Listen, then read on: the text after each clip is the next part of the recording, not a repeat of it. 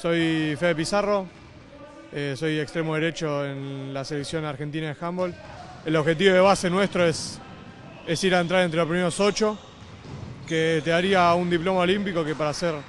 nuestro primer juego estaría, estaría muy bien. Por suerte, desde que en octubre del año pasado pudimos tener el,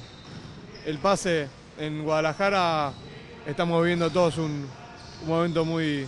muy contento, se viene acá a entrenar, la verdad que muy felices por, por, por lo que conseguimos y nada, también sabiendo que, tenemos que entrenar el doble y, ansioso ya por mi parte, quiero que empiece ya los juegos para, para vivirlo, que,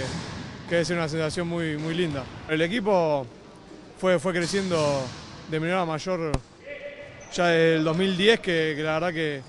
que, le encontramos la vuelta a cómo queremos jugar y, y a lo que nos plantea y técnica y tácticamente, así que por suerte por esa parte estamos bien y lo único que nos falta ahora es volumen de entrenamiento juntos, volumen de juego juntos.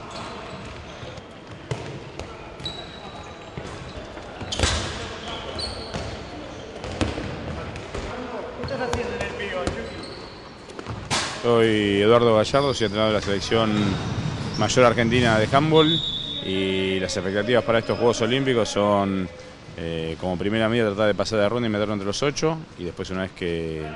tener la suerte de pasar, eh, evaluar hasta dónde podemos llegar, pero el primer objetivo es pasar la ronda. Sin duda es el, el mejor momento de la historia del deporte,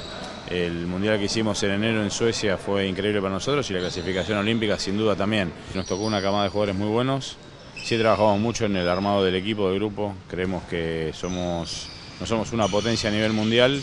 y si no estamos sólidos como equipo como grupo es muy difícil competir de igual a igual como lo estamos haciendo ahora. Creo que, que sí se trabajó mucho en lo que es en el armado del equipo, no solamente de los jugadores, sino la relación con los cuerpos técnicos y con la dirigencia. Creo que entre todos podemos llevar el, el deporte adelante y bueno, se trabaja mucho sobre eso y obviamente tenemos jugadores que son muy buenos